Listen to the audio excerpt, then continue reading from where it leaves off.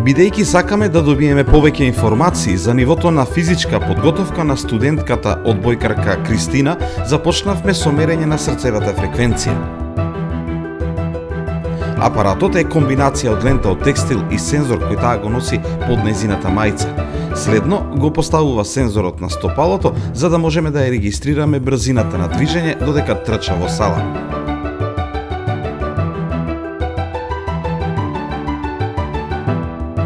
Сега е подготвена да стартува и ние ќе ја стартуваме апликацијата која е креирана за овој проект.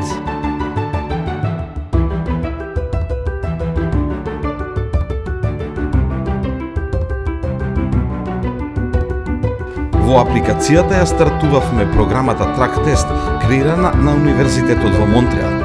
Понатаму, апликацијата ќе ја води низ тестот, давајќи и нападствија колку брзо треба да трча.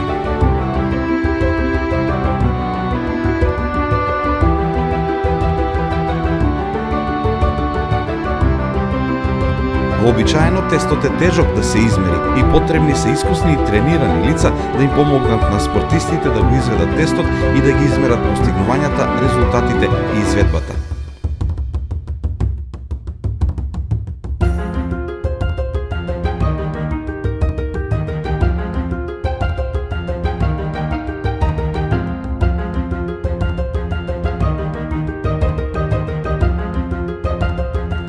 Апликацијата и дава повратни информации, односно и кажува кога трча пребрзо и треба да намали или трча преспоро и треба да забрза.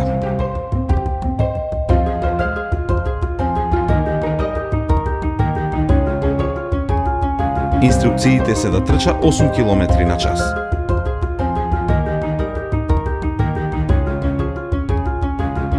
После две минути, апликацијата ќе ја даде инструкции да ја зголеми брзината на 9 км на час и да продолжи да трча со таа брзина во следните две минути.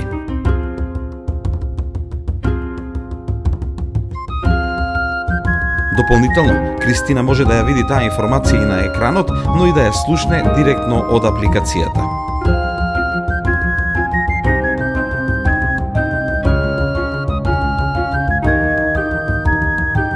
Апликацијата ја бележи незината брзина на движење, срцевата фреквенција и овие информации ги праќа на сервер каде ние можеме да ги следиме во живо во истиот момент или да им пристапиме подоцна.